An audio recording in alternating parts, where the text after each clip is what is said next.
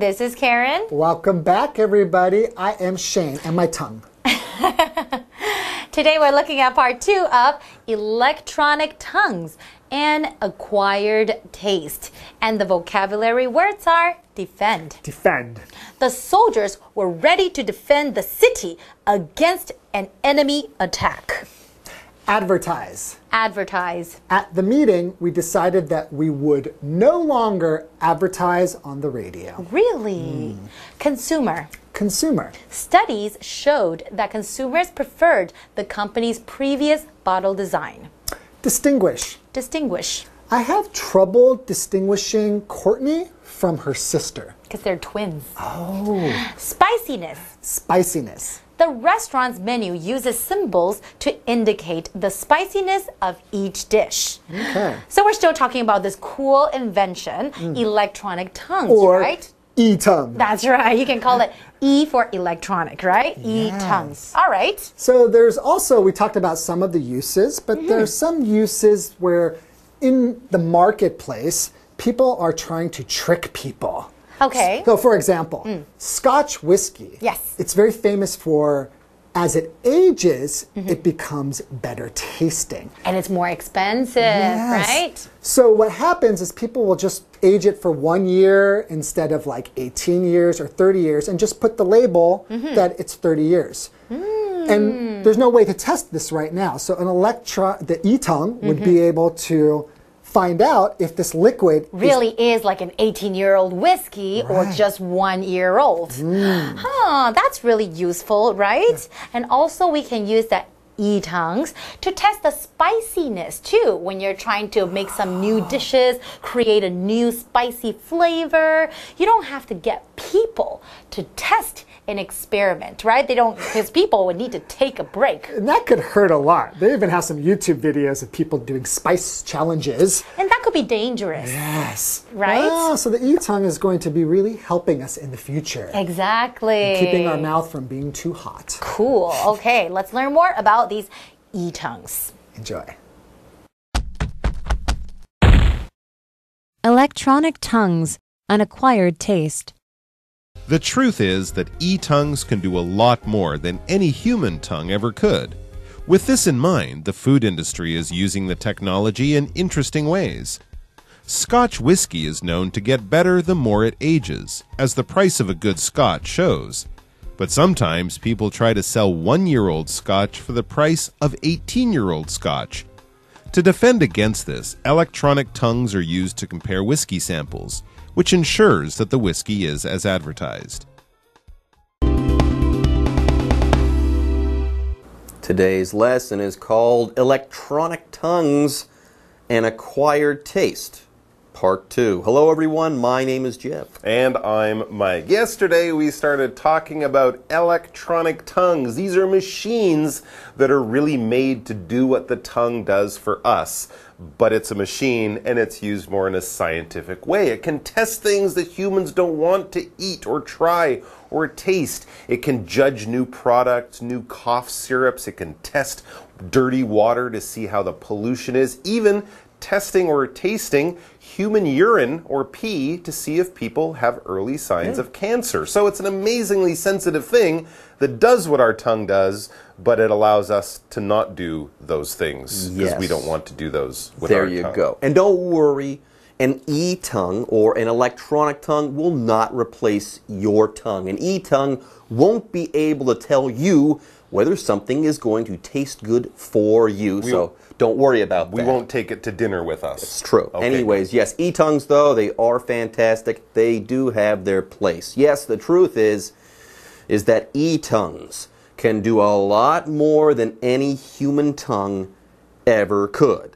Still, they can't tell you whether you're going to like something as far as food is concerned. Anyways, though, with this in mind, the food industry is using the technology in interesting ways. Oh, okay. So yesterday it was a little bit more about how science was using the electronic tongue. Let's look at the food industry.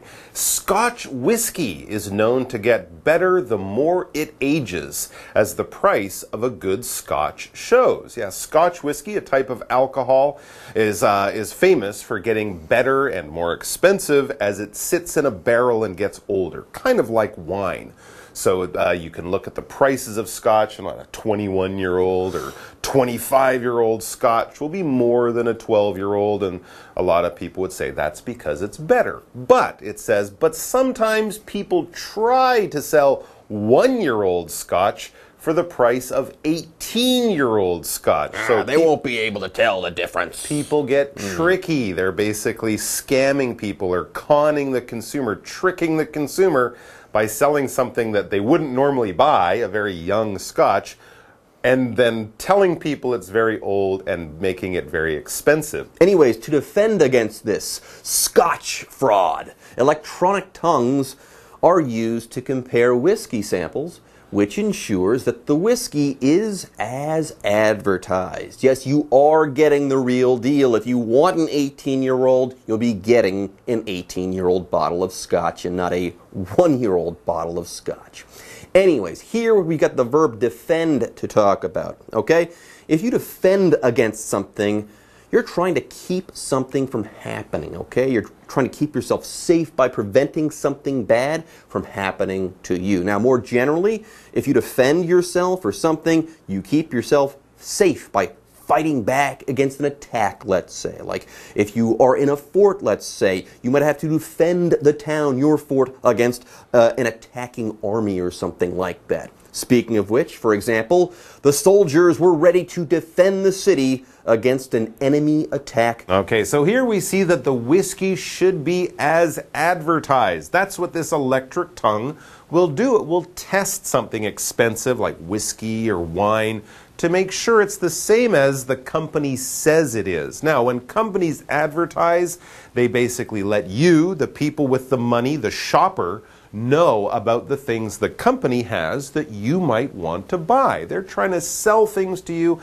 by giving you information. Those advertisements, signs, posters, things on television or the internet paid for by the company will give you that information. Now, if something is as advertised, that means that we, the buyer, when we get it, it looks just like they told us it would look in the advertisement. We've probably all had the experience of going to a fast food restaurant, you get your, your hamburger, your ice cream sundae, and you're like, this doesn't look as fresh. It doesn't look as nice and attractive and as delicious as the one in the advertisement.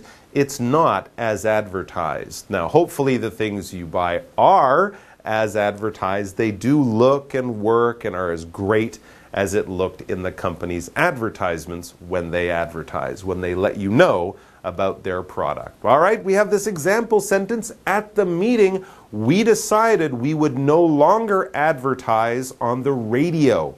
Maybe start advertising on the internet instead. All right, that brings us to our break, and we're going to come back very shortly with more from our article. Hello，大家好，我是 Hanny。我们在第一天的课文读到，电子舌可以帮忙检测人类没办法品尝或是不想要品尝的东西。那它有非常多的功能。现在食品工业正在用有趣的方式来使用这项科技。像很多人都知道，苏格兰威士忌它熟成越久，味道就越好。那年份越久的威士忌，它价格越高。不过有一些不孝商人可能会用十八年威士忌的价格，然后来卖这个只有熟成一年的威士忌。为了要防止这样的情况，人们就可以用电子舌来比较不同的威士忌样品，来确保它有跟广告一样。好，先来看两个单字，defend，defend，它是动词，表示捍卫、防卫。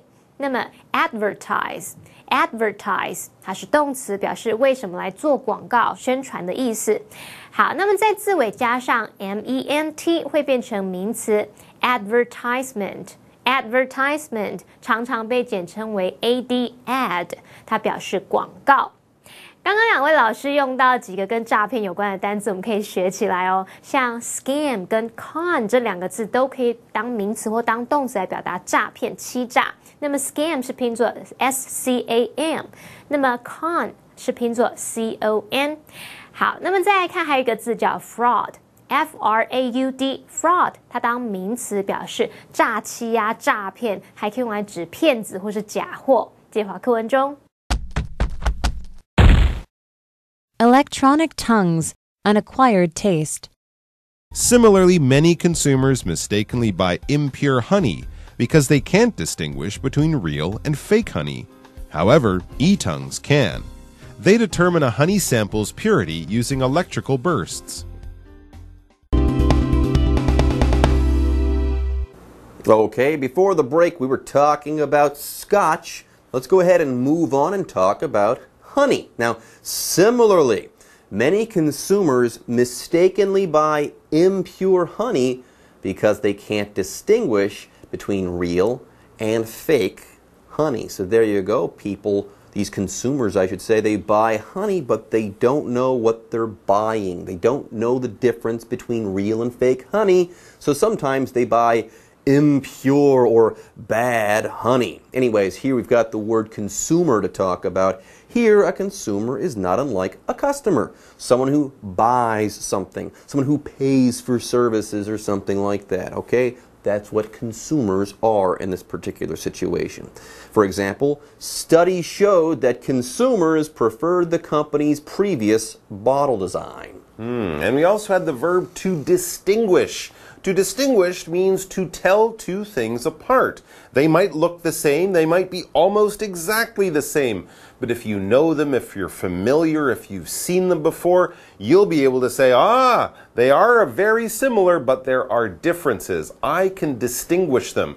We often look at, you know, a mother bird. How does a mother bird tell its children apart? How does it distinguish them? Well, it has some magical ability that we don't understand. But for us in our own lives, we might, you know, go to school and have a, a school bag that looks very similar to one of our fellow classmates, but we know the difference. We know that ours has a little mark on the side or something like that.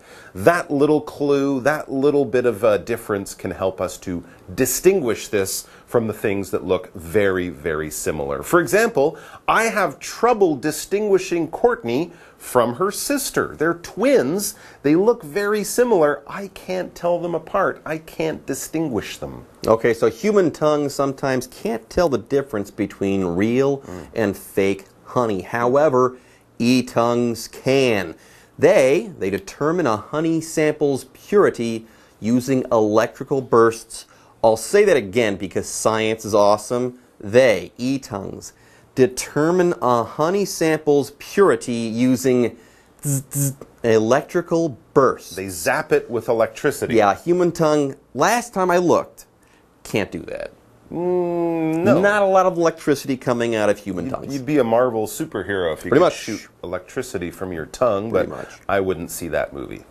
Anyways, folks, with that, it's time for us to take a short break. But don't go away. We'll be back soon. 除了用来检测威士忌的样本，电子舌也可以用来帮忙检测蜂蜜的纯度。 课文提到说，有很多消费者因为分不出这个蜂蜜的真假而误买了不纯的蜂蜜。有了电子舌，就可以用电子脉冲来判定蜂蜜样品它的纯度。好，文中的 electrical burst。Electrical burst 在这边是指电子脉冲。那老师们刚好用到一个动词是 zap，zap。Z A P，好，这个动词它就有电击的意思。好，那我们再看课文两个单字 consumer consumer，它表示消费者；distinguish，distinguish，这个动词表示辨认出或是分辨。我们常常会用 distinguish between A and B 来表达辨别 A 和 B 的不同。好，那顺便补充一下，我们也可以用到片语。tell apart，我们可以用 tell somebody apart 或是 tell something apart 来表达分辨什么、区分什么什么。好，再来看补充单字 purity。purity 它表示纯度，它的形容词是 p u r e pure。pure 它就是形容纯的、纯净的或是无杂质的。如果在前面加上否定字首 I am，变成相反词 impure，impure 就表示不纯的。好，这话课文中。 Electronic tongues, an acquired taste. E tongues can also analyze a sample's taste and spiciness precisely. This provides scientists with the data they need to test and perfect new flavors of spicy foods. An added bonus is that electronic tongues never need a break to cool their mouth down. As it stands, this technology could lead to better tasting and safer food, among other things. Best of all, to achieve these results, humans will no longer have to put their lives or their tongues on the line. Scotch, no problem. Honey, no problem. E tongues can do it all. Really, yeah, get this, there's more. E tongues can also analyze a sample's taste and spiciness precisely. They can analyze these things precisely with a lot of detail. Yeah, hmm, how does this taste? Give me a number. How spicy is this? Give me a number, something that we can precisely measure, and apparently, e tongues can do that for us. How amazing. By the way, here we have the word spiciness. It's a noun. Spicy is the adjective, spiciness is the noun. When we're talking about the spiciness of something, we're talking about how hot that thing is, but not in terms of temperature. Spicy food or foods with a lot of spiciness, when you eat them, they make the inside of your mouth feel very hot and warm because of peppers and stuff like that. That's, that's what spiciness is all about. For example, the restaurant's menu uses symbols to indicate the spiciness of each dish. Yeah, sometimes you'll see a, a red chili pepper next to that thing on the menu, and it'll tell you how hot a dish is. And if you see three chili peppers next to the super hot. food, that will be something that I will not avoid, uh, not order. So this thing sounds quite useful to people like me who get, you know, very, very uh, nervous about super spicy food. I enjoy it, but my body sometimes Mm. doesn't agree. So how can they use it? It says this provides scientists with the data they need to test and perfect new flavors of spicy food. So imagine a company that makes spicy potato chips or spicy sauces or a fast food company introducing a new spicy burger. They can do all this very, very accurately, very, very carefully so they can get that level of spiciness exactly where they want. And it says an added bonus is electronic tongues never need a break to cool their mouth down. If it was mm-hmm. me, I'd be swallowing milk and water and doing all sorts of things to bring that spicy level down in my mouth. But with a machine, it can eat spicy food 24 hours a day, 7 days a week, and never have any bad problems. Yeah, there you go. The, the E tongue would eat the spicy food and say, oh, there's this much spicy chemical in it. They wouldn't go, ah, my, Spicy. my tongue is burning. No, they say, there's this much capsaicin in this food, therefore it will be this spicy. Anyways, as it stands, this technology could lead to better tasting and safer food, among other things. Best of all, though, to achieve these results, humans will no longer have to put their lives or their tongues on the line. And we started there by talking about ancient Rome, where people did put their lives on the line when they were tasting food. They wanted to make sure the emperor's food didn't contain deadly poison. There you go. That's a great thing. And absolutely, it's something that will be around and being used in all sorts of ways into the future. So, what do you guys think? And for that, we have a question to kind of spur your thinking and some conversation. How do you think society can benefit most? From the use of e tongue. Sure, tasting spicy foods is interesting and useful, but does that really help the most people in the world? No. But nowadays, because of e tongues, people will no longer have to undergo invasive procedures to figure out whether or not they're sick. Okay, sometimes ah. doctors have to do some stuff to you that's uncomfortable to figure out if you're sick or not. But now maybe e tongues can analyze things like urine, and you won't have to undergo those bad examinations, and that's a good thing. That's a very good idea. I'd say e tongues are able to taste drinking water, so I think every big city and town in the world should have one so they can work towards having their water be drinkable. There you go. That'd be a good thing for lots of people. All right, folks, with that, our lesson has now come to an end. We'll see you guys next time. Take care. Bye bye. 电子蛇还有其他什么样的功用呢？课文提到说，它可以精确的分析出样品的味道和辛辣程度，像是它可以帮助科学家精准的测试出这个新口味的辣度，来提供需要的资料等等。 而且呢，电子蛇用来测试辛辣食物，还有一个额外的好处就是，它不用停下来休息，不需要喝水啊，吃别的东西，赶快来解辣消火。有了这样的科技，人类就不需要牺牲自己的舌头了。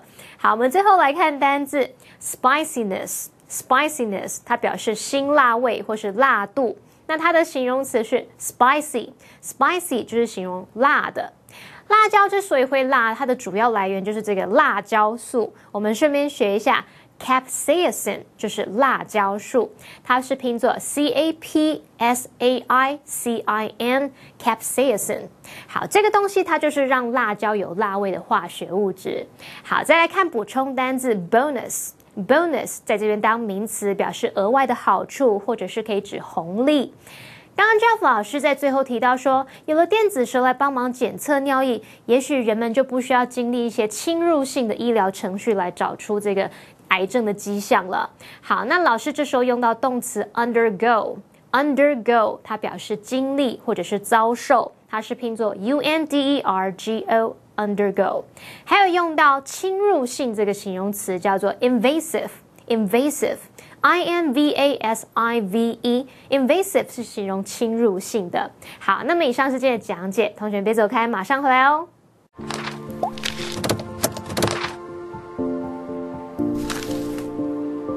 大家好，我是 Hanny，欢迎收看我们的文法单元。今天要介绍的文法重点有五个。第一个是用不定词 to be 表达目的，第二个是 ensure 加上 that 子句，第三个是 as 当连接词表达如同，第四个是 best of all，第五个是 on the line。好，我们先来学 to 加原形动词表示目的。不定词 to 加原形动词，它可以表达目的，来表达说为了怎么样怎么样。那这个 to 在这边就相当于 in order to，我们可以把 to verb 或者是 in order to verb 摆在句首或是主要子句的后方。举例来说，She swims every day to stay in shape。为了维持健康，她每天游泳。再造个例句：In order to save time, they took a taxi to the airport。为了节省时间，他们搭计程车去机场。好，接着我们来学 ensure 加上 that 子句。动词 ensure 它表示确保、保证， 然后后面常常会接 that 子句来表达确保某事会发生、确保某事会实现。举例来说，I'll ensure that everyone knows when and where the meeting will be held。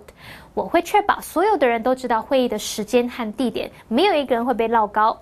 好，接着我们来学 as 做连接词，表示如同。as 可以当连接词，表示如同、就像或是像什么什么一样。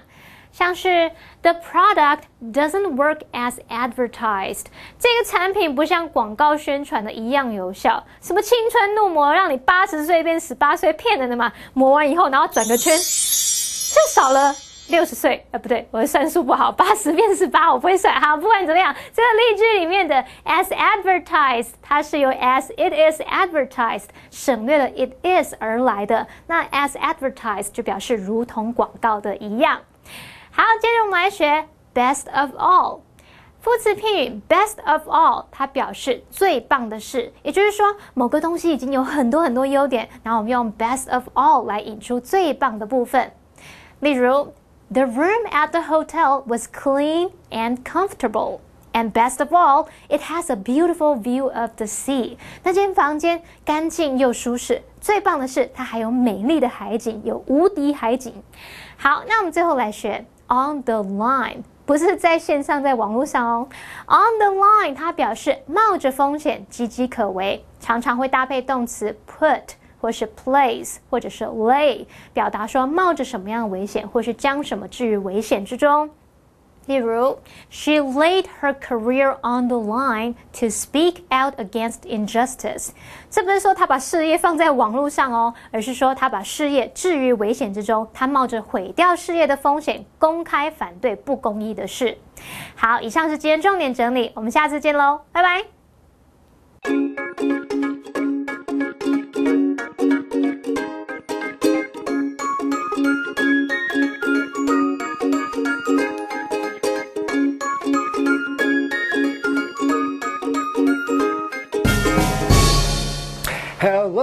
everybody. 欢迎来到 English in Action! I'm Shane. I'm Holly. You look really pretty today, Holly. Thank you. I spent a lot of time on my hair today. No, but really, you look nice. Um, thank you. You can say that again. I'm not going to say it again. I already said it twice. You can't really say that you think you look good. You have to say, oh, 哪里哪里. Oh, no. I 我 look 没有这么 ugly. 做作，好不好？ Oh, you can say that again. 我们直接进入对话。 I'm so tired of working here. Yes, we are definitely too good for this job. You can say that again. Let's go. Actually, I love working at this Oh, me job because you're such a wonderful partner. You can say that again.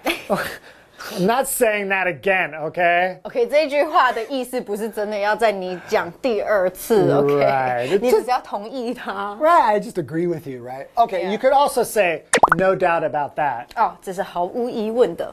Or, you're right about that. 哦，你是对的。 Okay, why don't we practice these one more time? All right, You can say that again. you can say that again. No doubt about that. No doubt about that. You're right about that. You're right about that. Okay, so if you don't want to keep saying that over and over and over again in Chinese, you want to say it in English, then, Then what? then, 考我。哦，靠我们就对。耶，你好聪明哦。I'm not saying that again. Oh, I thought you were going to. No, I'm not. Okay.